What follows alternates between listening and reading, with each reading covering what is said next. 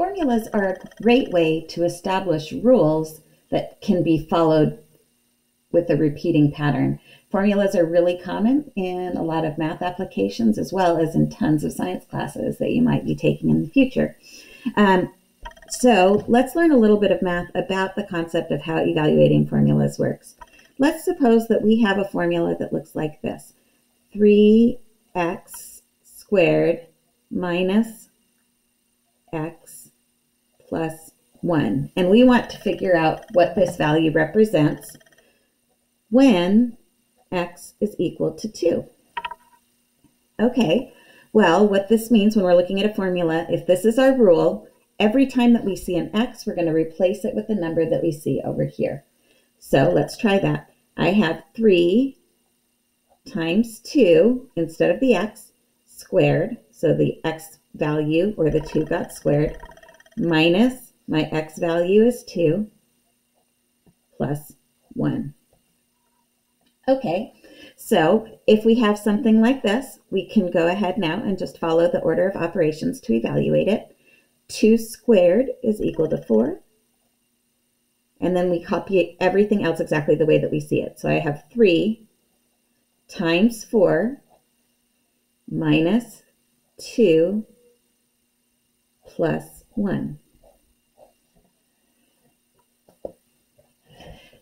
Uh, after we've done that, we move on to multiplication and division. We have one multiplication here that we can do. 3 times 4 is 12. Everything else stays the same. And then we can work on uh, addition and subtraction from left to right. The first one we see here is our subtraction. 12 minus 2. Uh, you can make that 12 plus a negative 2 using our subtraction rules. Change the minus to a plus, change the sign of the number that comes next. And 12 plus negative 2, of course, is 10. That 12 minus 2 was a familiar. You can jump straight to the 10 there. I just wanted to remind you that these rules for subtraction always work. And um, so that we can move forward. Here then we end up with 10 plus 1 after we do that. And 10 plus 1 will give me my final solution of 11. So that's going to be my formula value, or my formula evaluated when x is equal to 2. One of the things, notice that I did here, which is very good, uh, a very good thing to do, is I put the values that I was substituting into parentheses.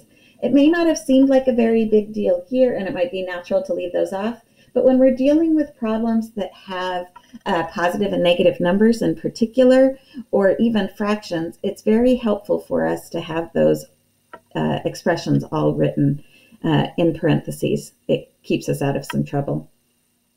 Let's try the same example again here using the 3x squared minus x plus 1. But instead of doing this when x equals 2, let's do this when x equals negative 3.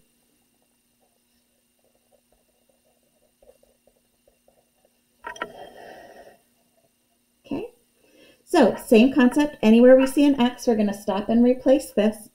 So here I'm going to have 3 times, instead of X, I'm going to use negative 3 now to the second power, minus, instead of X, I'm going to use negative 3 plus 1.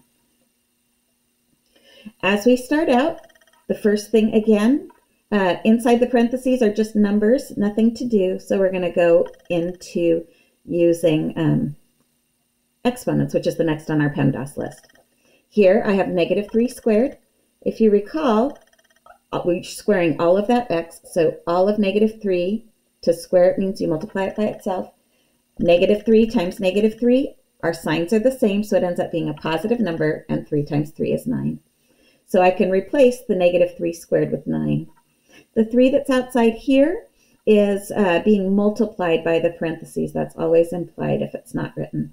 So here, 3 times, instead of negative 3 squared, I've got 9, minus negative 3 plus 1. Again, continuing on our order of operations, uh, the next thing you want to do is multiplication and division. 3 times 9 gives me 27, minus negative 3 plus 1. Now I'm just to addition and subtraction. I do whatever comes first. They have the same priority, whatever comes first, left, left to right. So I'm going to actually do the subtraction first. When you go to do the subtraction, remember we're going to change it to an addition problem. We don't have subtraction rules, only addition rules. Uh, and then we change the sign of the number that comes after. So the negative 3 is going to become a positive 3. So all I've done, done here is rewritten this so that I can actually go ahead and add these. Here I've got 27 plus 3, same signs, all positive, no biggie. Uh, add those to get 30, and then I can add at the very end that last one to get my final solution. Okay, uh, let's do another, another statement. Um, we can have as many variables as we want or need in our different problems. Let's suppose that we have something like this. Um,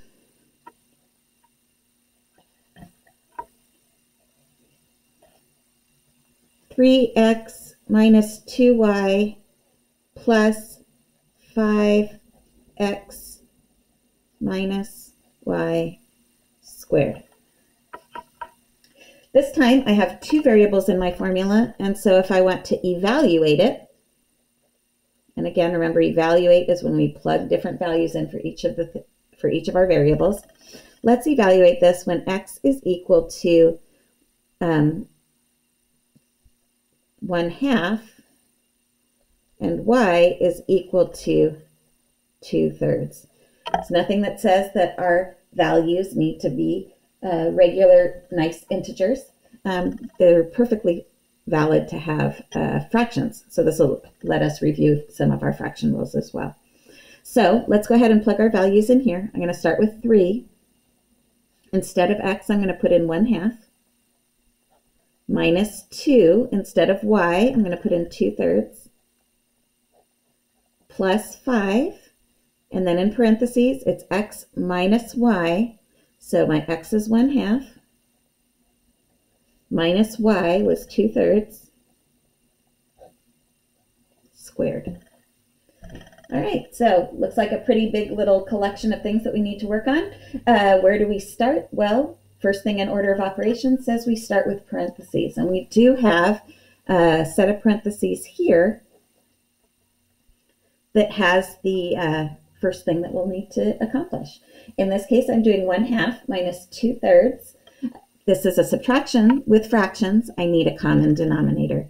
Between 2 and 3, uh, 6 works great. And so let's, off to the side here, let's take a look at what this expression is going to look like with 6 as my common denominator. To get from 2 to 6, I'd have to times the bottom by 3. So I'm going to have to also times the top by 3 here. 2 times 3 gives me 6. 1 times 3 gives me 3. 1 half and 3 sixths are equivalent fractions. Now I'm going to have to change the next fraction. It had a denominator of 3. I need it to be 6. I can get that by timesing by 2. So I also have to times the numerator by 2. 2 times 2 is 4, and this becomes my top value. Now that I'm doing subtraction, I can, can go ahead and approach that and I subtract the tops and keep the bottom the same. However, notice if I do 3 minus 4, I don't have enough to be able to subtract that. So we're going to have to incorporate our positive and negative rules here. Uh, we can change subtraction to addition, and then we can change the sign of the number that comes next. Once we've done this, 6 is our common denominator. We worked hard for it, so let's not change it. And then on the top, when we do 3 plus a negative 4, Signs are different, so I'm going to subtract, and I end up with one more on the negative side. So I have negative 1 sixth. Now I can rewrite my problem over here. 3 times 1 half minus 2 times 2 thirds plus 5 times negative 1 sixth squared. And I've taken care of all of the operations that are inside parentheses. The next thing that I need to do then is any exponents that I see. In this case, I have negative 1 sixth squared. Remember that squaring something means you multiply it by itself. In this case, what was inside here says that I have to multiply negative 1 sixth by itself. So let's do that over here. Negative 1 sixth times negative 1 sixth. Negative times a negative is a positive because our signs are the same. Then we multiply across the top and the bottom. 1 times 1 is 1. 6 times 6 is 36 and I have a new value here. Now let's go through and do this. 3 times 1 half minus 2 times 2 thirds plus 5 times positive 1 over 36.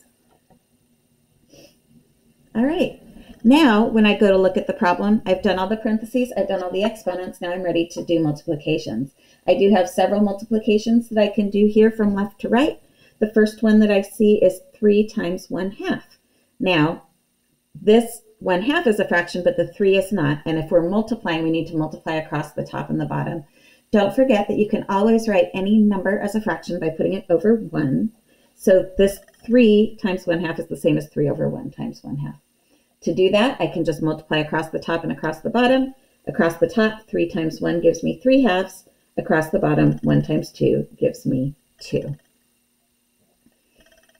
Okay, then I'm going to subtract, and now here I've got another multiplication. Let's go ahead and do that. The same concept's going to apply. I want to multiply and get a fraction, so I need to make the 2 a fraction, and I can put that over 1. Multiplying across the top, 2 times 2 is 4. Multiplying across the bottom, 1 times 3 is 3. All right, plus, and I've got yet another multiplication now that I can do. So let's go ahead and do that. This is 5 over 1 times 1 over 36, multiply across the top and across the bottom, and I end up with 5 over 36. So I've gotten past my um, multiplication and division step, and now I'm on just addition and subtraction. For here, we're going to do things from left to right. So let's start here. Between 2 and 3, we can get a common denominator of 6. Let's change our values on the top here. Uh, to get from 2 to 6, I'd have to times by 3, so I times the top by 3. 3 times 3 is 9. To get from 3 to 6, on the bottom here, I times by 2, so I times the top by 2. Then I have 9 sixths minus 8 sixths, which gives me 1 sixth. Subtract the top, 9 minus 8 is 1. Keep the common denominator the same. Now that I've done that first subtraction, now I can do this final addition to finish my problem. Uh, I have 6 and 36, um, and I need a common denominator. 6 does go into 36, though, so I can go ahead and use 36 as my common denominator. For the first fraction, to get from 6 to 36, I'd have to times by 6, so I times the top by 6. 1 times 6 is 6. The second fraction already had a denominator of 36, so I can keep it the same as 5. And now that I have a common denominator, I can go ahead and add my values. Uh, the common denominator stays the same, and then I can add the tops. 6 plus 5 is 11, and I come up with 1136. Do you take a second and see if you can reduce the answer. In this case, 11 does not go into 36, and I can't break those down anymore. So this is my final simplified solution. Uh, the, the more fractions and positives and negatives you have, the more little calculations you need to do. But as long as you take your time and just do one thing at a time, we can make it through those problems and get to the final simplified solution.